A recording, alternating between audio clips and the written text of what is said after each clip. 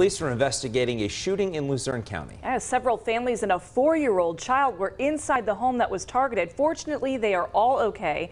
WBRE 28, WYOU 22 Eyewitness News reporter Julie Dunphy joins us now tonight with details on that close call. Julie? Nick Candace, good evening. It was a terrifying night for those who live in the Hanover Township home, and they want answers. More than a dozen bullets through the walls and windows some just missing the people inside, including a young child.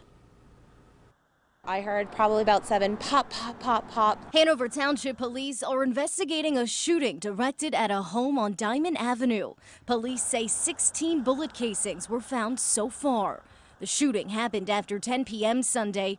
Those who live there all inside. At the time, my wife and my son were all sleeping, and fortunately, my four-year-old was sleeping with us because we just moved in this place. So one bullet went through the four-year-old's bedroom on the second floor. Another bullet just missed the homeowner's head while she was watching TV on the third floor. The whole house was shot through, every single floor, top to bottom.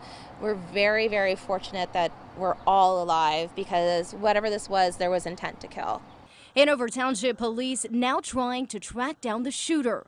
They are believed to have fled the scene in a vehicle traveling south on Diamond Avenue towards Crest Street. A terrifying start at a new home for the Delaney family who just moved in on Saturday.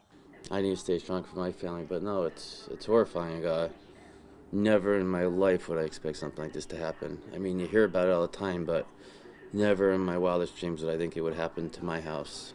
The residents now want justice.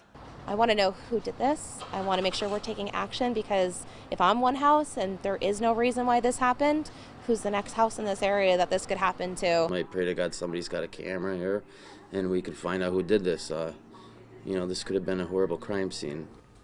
At this hour, police do not have a suspect, anyone with information, or anyone that may have captured the incident on a nearby home surveillance is asked to contact Hanover Township Police. Reporting live from the studio, Julie Dunphy, 2822 Eyewitness News.